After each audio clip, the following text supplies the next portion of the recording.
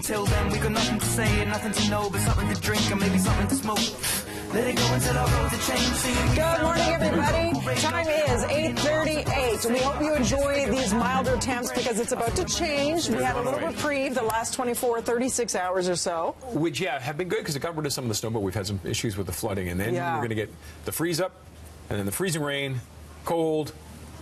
Tash was hilarious. Did you hear her? She said 1800 bucks. She just found know, a deal. Where was it, Dominican? to go to Punta Cana. She has stuff to take off on Friday, but we want you guys to stay here because we carry the Yes. Grammy Awards Sunday night. This will be great. 7 p.m. We have your live carpet, uh, red carpet coverage, and then it goes into the big show. And if you didn't hear, You they are just excited about this, aren't you? A whole lot hotter. Oh yeah, BTS.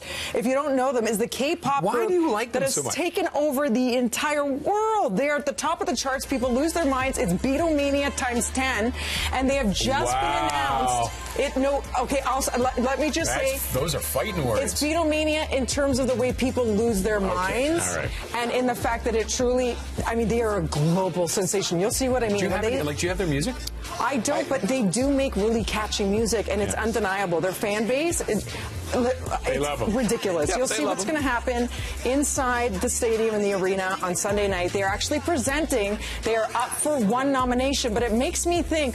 Might they be a secret performer? Because the Grammys always love to leave us guessing with a few surprise performances or And collaborations. right?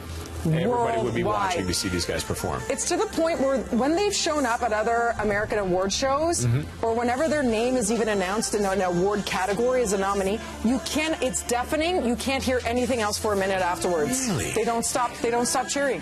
So I got to ask Devo Brown because he will be there. He's actually leaving in a couple of days to go to LA. He's heard any of the rumors? Yeah, Devo, big story with BTS actually appearing on the Grammy Awards this Sunday.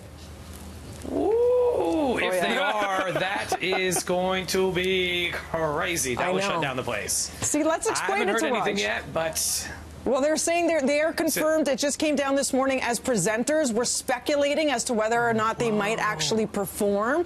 But when I when I equate them to the Beatles times ten, do they I keep mean in that under terms wraps, of though? how do they keep that under wraps? they, They, sign contracts. performing. I know, but everybody, they'd have to practice. Yeah, Something but have to- they, I we'll find out. We'll find out in a couple of days. Yeah. Ask around for us. yeah, because they normally they they don't want to give every performer away, obviously. But Make the some fact calls, that they're presenting is huge. Exactly. So, I'll make some some calls. calls. Is- let me get to LA first. There's a lot of pressure right now, Raj. Let me get to LA first.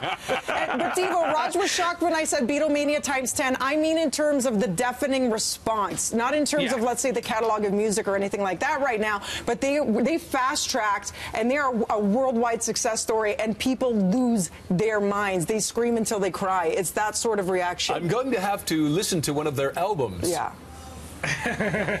well played, well played. I do agree with that. I don't know if you're talking about before because we were playing albums over here, but with their movie that dropped on January 26th, they set worldwide records for the amount of tickets sold, Wow. and it comes out again uh, later this month, so it'll do it again uh, across the world as well. So they are, like you said, Beatlemania when it comes to boy bands in that scope and realm of just crazy fan base. Oh yeah, it is like the ultimate boy band, Now I'm gonna have but their go- music is super catchy. It's undeniable. They create amazing hooks. They all have great Yeah. voices, wicked looks, and they know how to dance. I'm going to look for a deep track. Okay. Like cut number 11 or Wasted something like on that. me. Just get get wasted on me, Raj. That's what That's you it? want to hear. That's all I Wasted on need? me is There you such a great track, and you will not you will not forget that song once you hear it. Uh, BTS. Have you printed any BTS records? I don't know if they've put records out yet. Do you know who that is? Is that the K-pop band? Yeah. Yeah, I think we did do some. Yeah, you some- did? Yeah.